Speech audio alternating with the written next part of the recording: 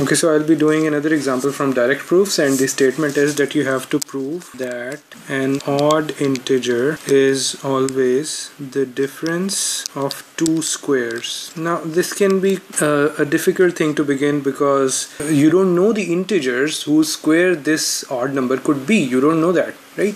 So for example, you say that I assume that p is equal to 2k plus 1 is my odd number and so what are the numbers I'm going to put here for which I'm going to take the difference? And I know that uh, they're they're going to be squared. So I don't know what the what, what those integers are. So I need to make up those integers out of nowhere but uh, normally we don't do that.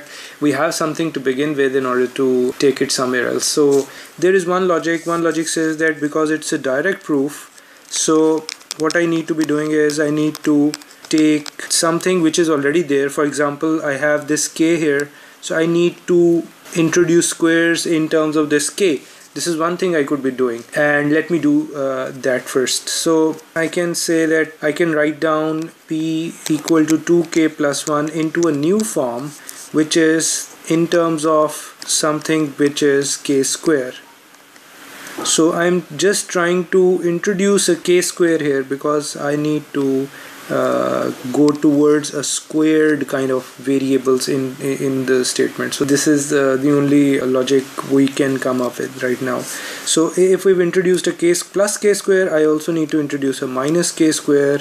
And I can what I can do is now I can use the a plus b whole square equal to a square plus b square formula in this term.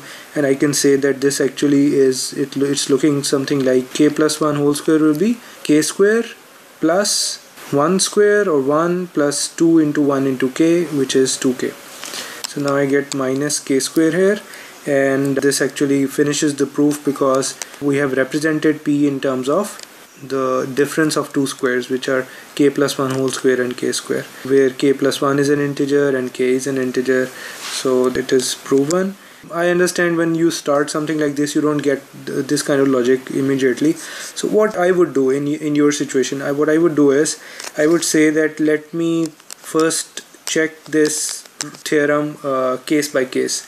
So for example if I look at 6 square minus 5 square I get 36 minus 25 which is 11 11 is an odd number.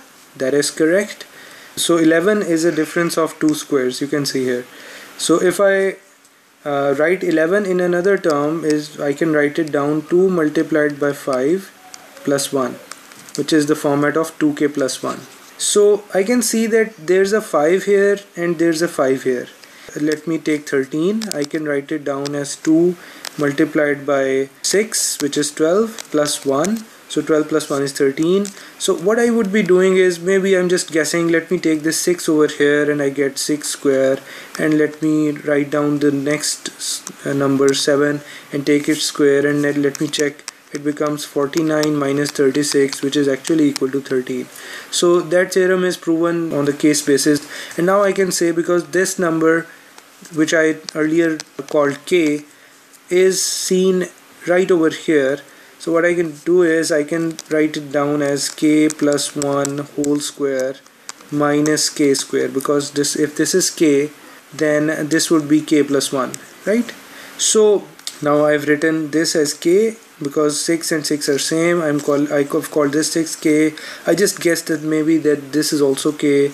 And I have written this 7 as the next number from 6 which is k to k plus 1 and I expand this square and I write k square plus 2k plus 1 using a plus b whole square formula. And I get this thing and I simply cancel this out and I get the same thing which was on the left hand side. So in my personal opinion this could be another way of proving this theorem. So in either way you start in this case we introduced the squares ourselves and in this case we have just you know guessed that uh, based on the theorem I have written this statement based on the theorem and then proven the theorem right. So this is the proof for this theorem.